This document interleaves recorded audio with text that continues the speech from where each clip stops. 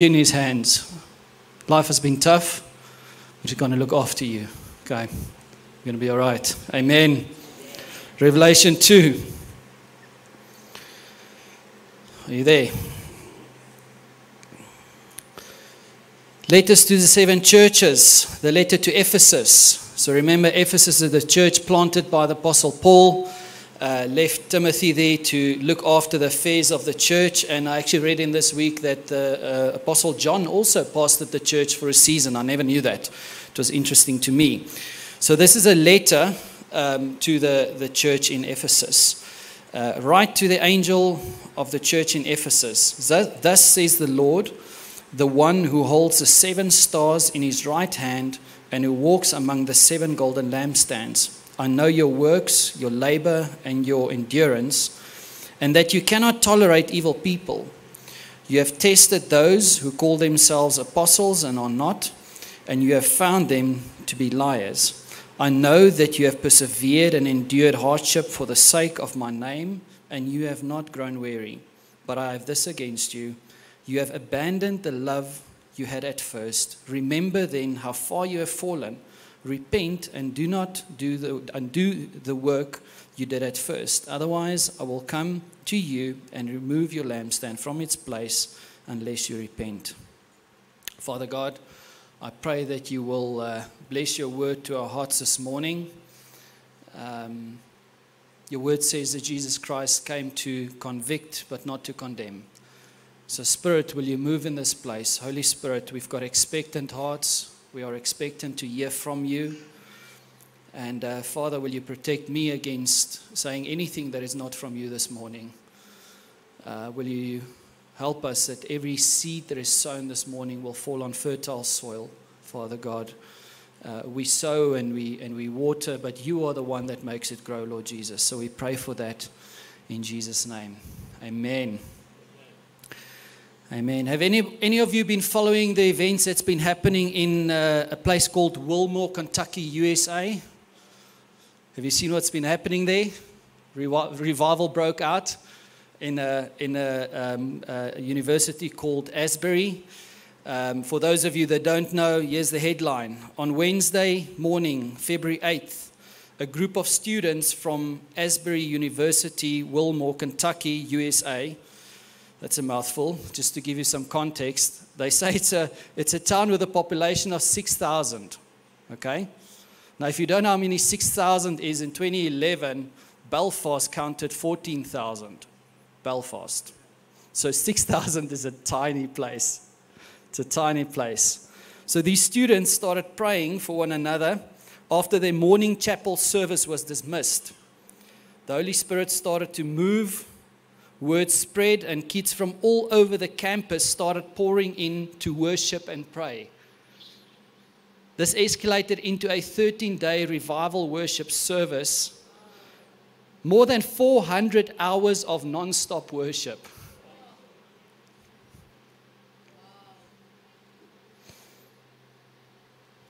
I'm having pictures of this temple worship, of ongoing worship that David had. More than 50,000 people from all over the world attended the services over the 13 days.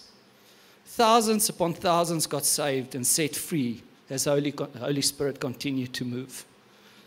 The New York Times called it the Woodstock of Christian revivals. Come on, Woodstock. And where you? Woodstock, eh? Yeah, let's give God a hand. Man, that the New York Times start writing about the church. Come on. The idea of revival makes me excited to see these things happening. There was something happening in Ethiopia as well. I don't have time to, to share all the news, but these pockets of revival of God's movement is happening all over the world.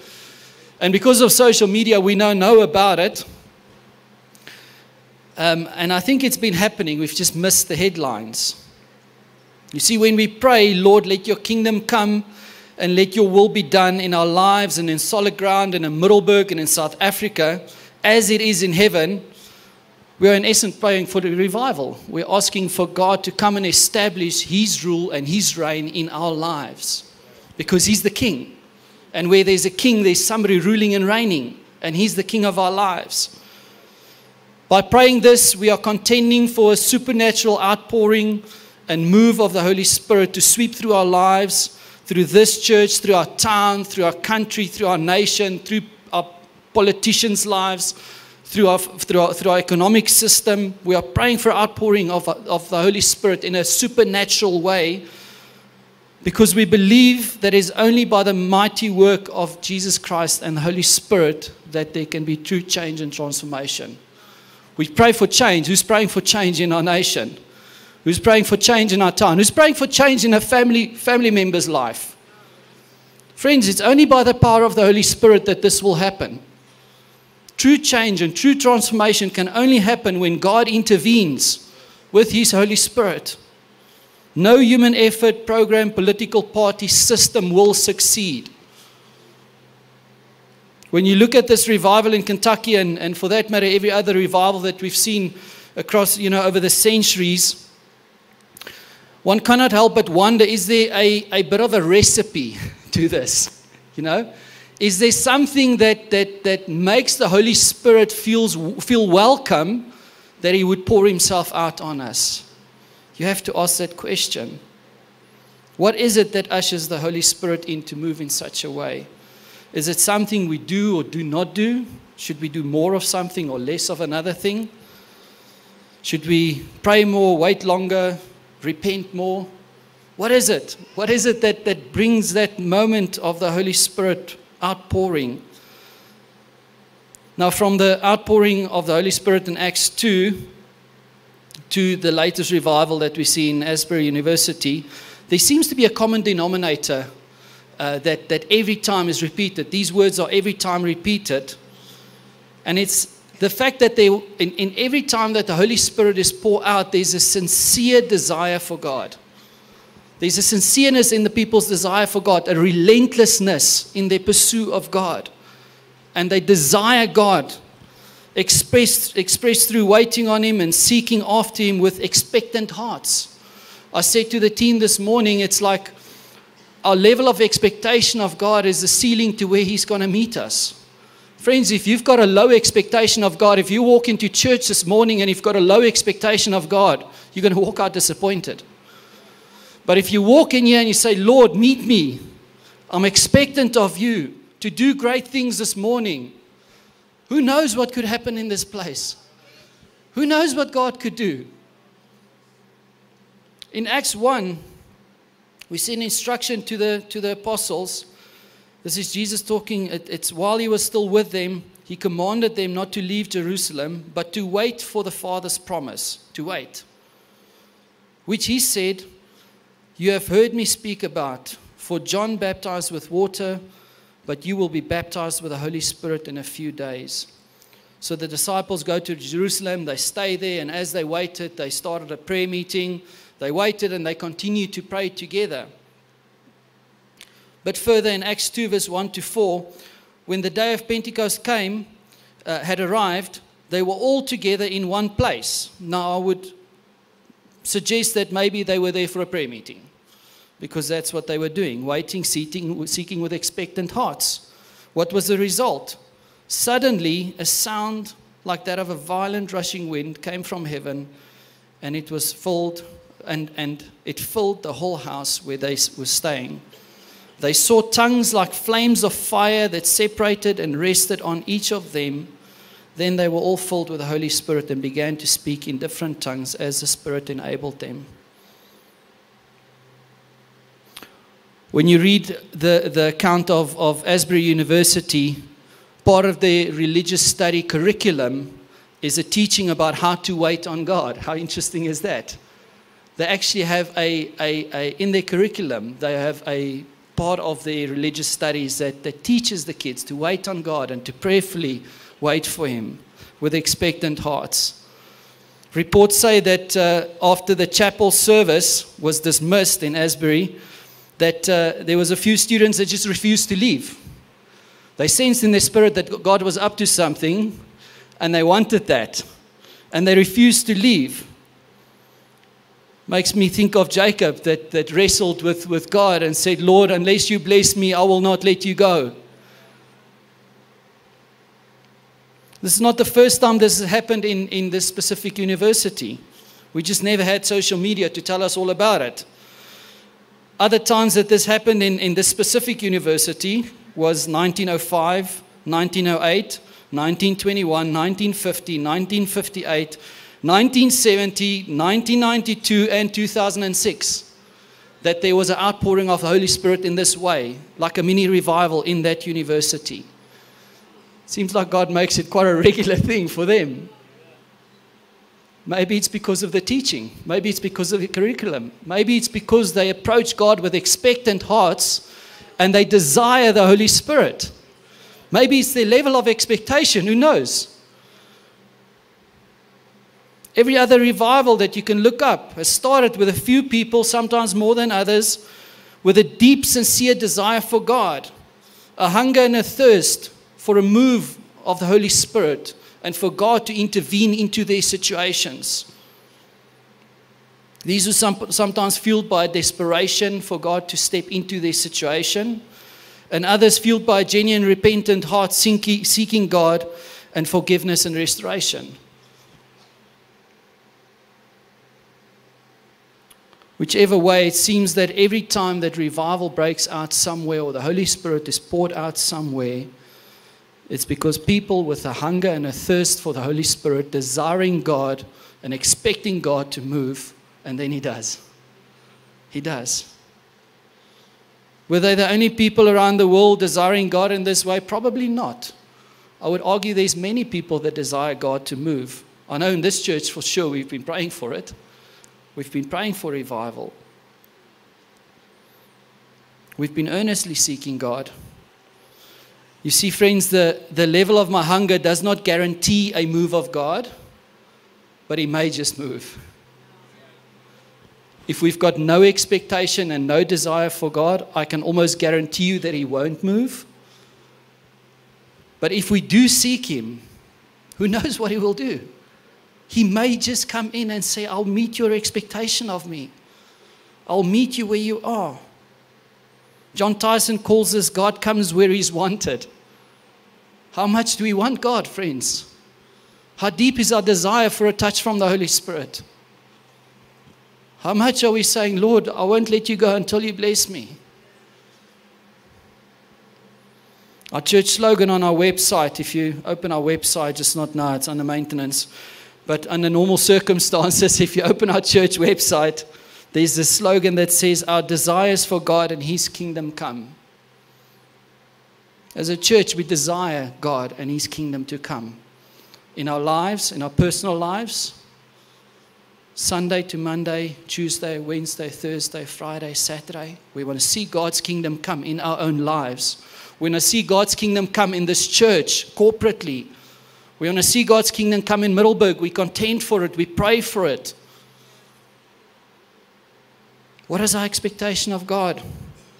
Two questions. How deeply do we desire God? How deep is our desire to see Him come? How much do we desire to see that supernatural move of the Holy Spirit in solid ground? Can you imagine? Can you imagine this place is carrying on and on and on in worship? How beautiful that will be. But that's not the apex of it, friends. God can move in a moment in a person's heart, in a silent moment. I'm thinking of the prophet standing on a mountain, and there's earthquakes and there's rushing winds, and he says, God isn't in these. God wasn't there. God was in the silent moment, in the silent whisper. So God can move in any way He wants to. It doesn't always have to be flashy. But do we desire Him, friends? Do we desire Him to move? How hungry are we to see move in our lives? How hungry are we to see move in other people's lives? How hungry are we to see revival in our nation? It's for every one of us to decide. Second question is there a way I can cultivate this desire for God in my life?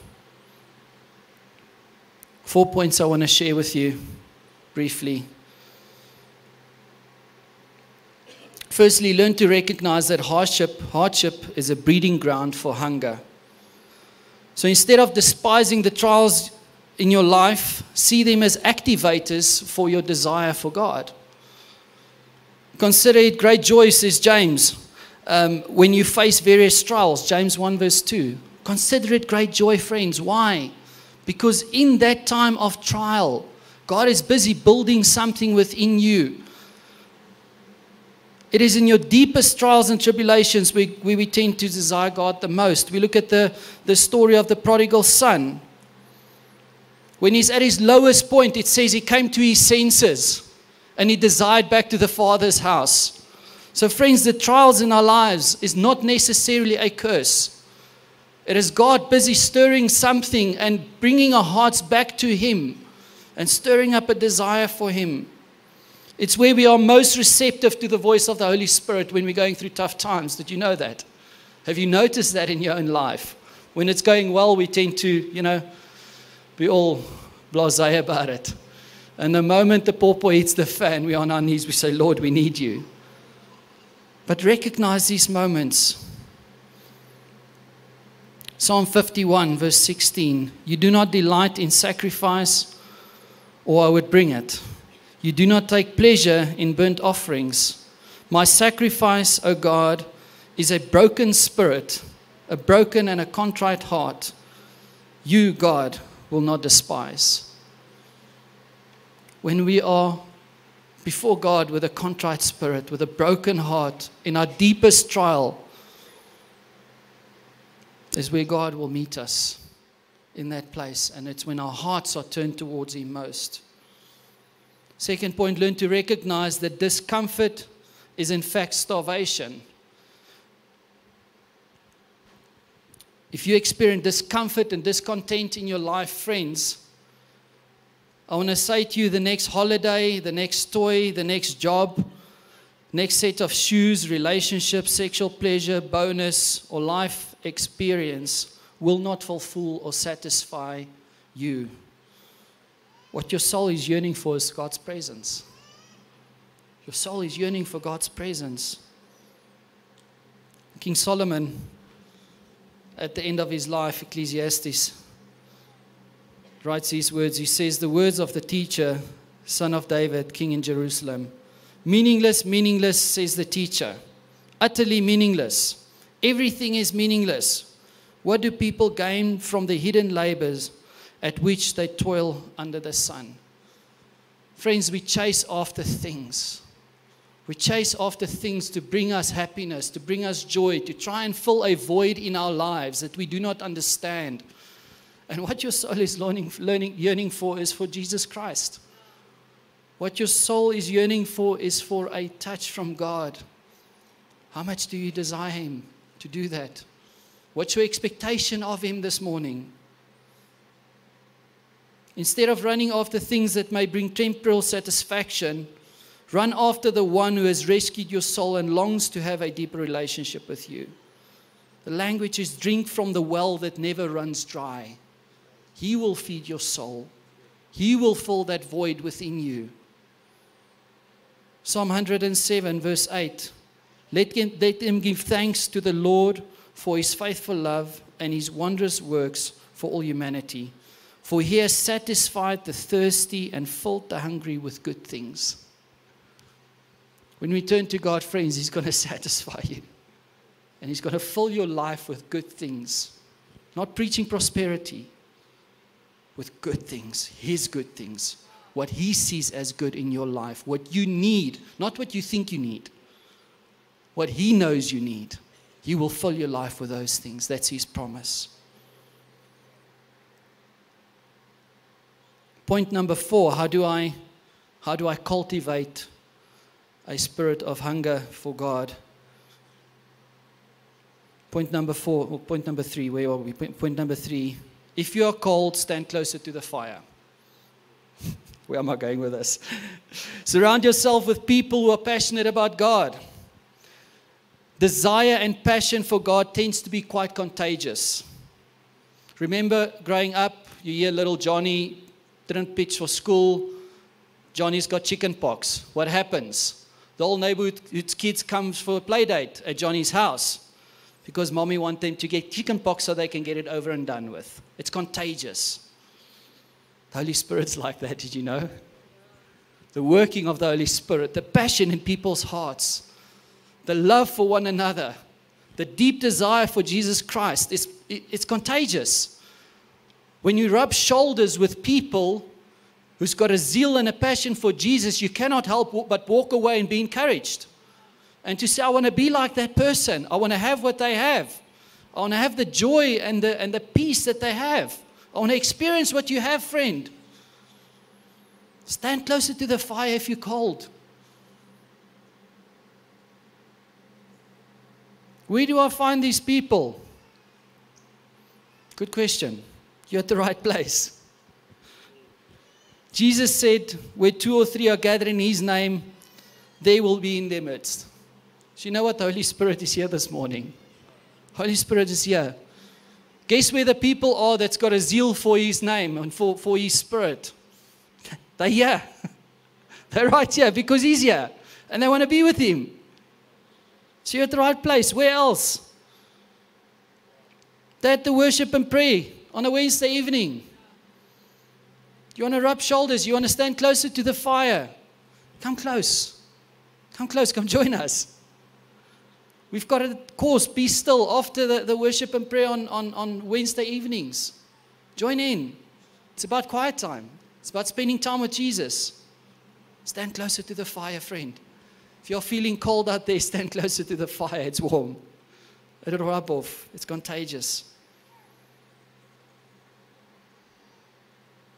In other words, position yourself to be infected. After COVID, hey, let's talk about infection. This is not social distancing anymore. It's over. This one you want. Trust me, it's not like COVID. You want this one. You want this one to jump to you. Remember that the fire is at its hottest when you are at your closest to it. Stand closer to the fire. Come close. Point number four play the long game. Band, you guys can come up for us. Play the long game. You see, conditioning does not come from a flash in the pan event or moment, or yes, sometimes something in your heart is sparked in a moment. God can do that. God can do that. But play the long game, friend. Don't run after moment after moment after moment. Play the long game. Condition yourself. It takes consistency and perseverance. People running the comrades, any comrades athletes around here? I know a lot of you run. No, no comrades. No, Simba, you are not a comrades athlete. you can't even run around the block. These guys train. These guys train. I run with some of them. These guys train hard for long. Not just they don't, don't just go for a 30 kilometer run the week before the comrades say, hey, now I can do it. They trained for six, eight months. Some of the guys trained for the whole year for that race. Because it takes time to condition, it takes time to get your body into the right shape to be able to take on that race. Our relationship with God is the same. We condition ourselves, play the long game. It's not a flash in the pan. That said, remember that desiring God is not a destination, it's a lifelong journey. It's a lifelong journey of discovering. And as we learn to, to know God, as we get to know Him better and better, He reveals more to us. He opens His Word to us. We understand more. We love more. We, we, we, we get to know Him better. Eugene Peterson calls this long obedience in the same direction. I'm going to repeat the four points before I move on. So learn to recognize that hardship is a breeding ground for hunger. Learn to recognize that this discontent is in fact starvation. If you're cold, stand closer to the fire. And lastly, play the long game. Consistency, consistency in your, in your private devotion to Christ, consistency in your attendance to church, consistency in being close to the fire. That's what it takes. King David, which uh, the Bible calls a man after God's own heart in Psalm 63. I want you to close your eyes and listen to this. My Bible says it's a psalm of David when he was in the desert of Judah. He says, You, God, are my God. Earnestly I seek you. I thirst for you. My whole being longs for you. In a dry and parched land where there is no water, I have seen you in the sanctuary and beheld your power and your glory. Because your love is better than life, my lips will glorify you. I will praise you as long as I live, and in your name I will lift up my hands. I will be fully satisfied, as with the richest of foods. With singing lips, my mouth will praise you. On my bed, I remember you. I think of you through the watches of the night. Because you are my help, I sing in the shadows of your wings. I cling to you, your right hand holds me. Note that David is not writing this from the king's palace, sitting, sipping on champagne and eating caviar. He's in the wilderness. He's being pursued by his son Absalom. He's being hunted down like a dog in this moment. And he writes to God, Lord, your love is better than life. My lips will glorify you. He writes this beautiful poetic language.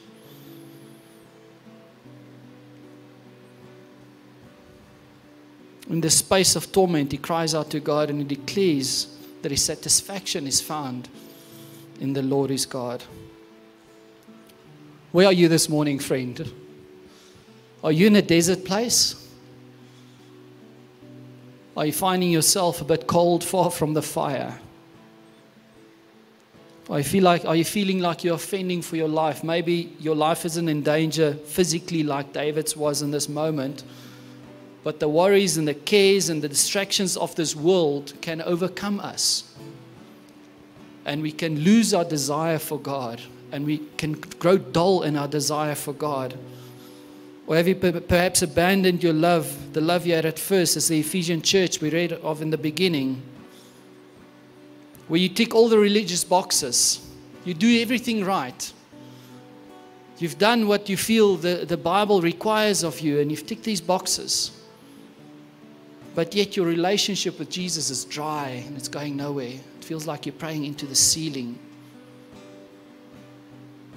It says, Remember then how far you have fallen, repent and do the works you did at first.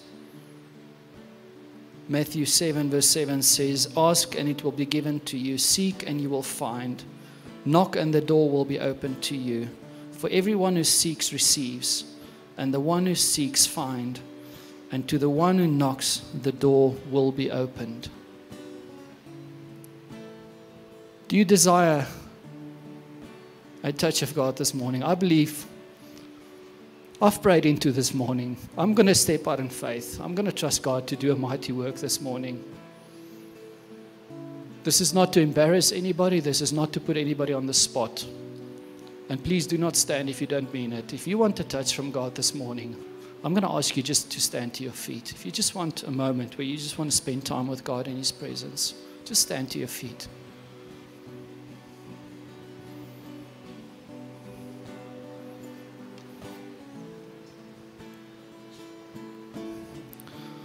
There's something when we physically respond. In the church, we've got this practice of calling people forward or asking people to stand, and it's not about the coming forward or the standing but it's about a physical response and showing God that, listen, I'm in business. Just close our eyes. Father God, I thank you for every person that is standing in this house. Just raise your hands if you are comfortable with it. Just in surrender to God. Lord, our desire is for you and to see your kingdom come. We are longing for an outpouring of your Spirit in our lives, Father God. And whether it comes in the way of revival or whether it comes in a gentle whisper that changes a life, Father God, you move in the way that you choose to move. Not for one minute do we want to dictate to you how to do it. But Father God, I pray that your Spirit will fall on everybody in this place that's standing right now, Lord Jesus.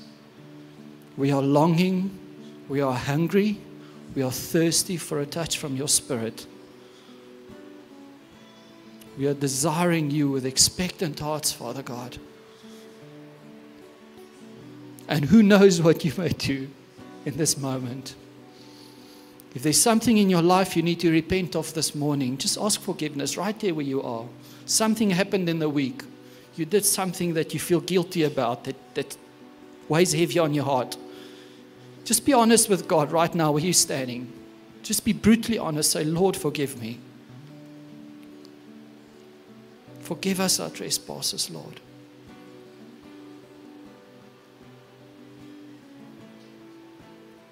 If you want a touch from God, just say, Lord, I need a touch from you right now. Holy Spirit, will you come and touch me?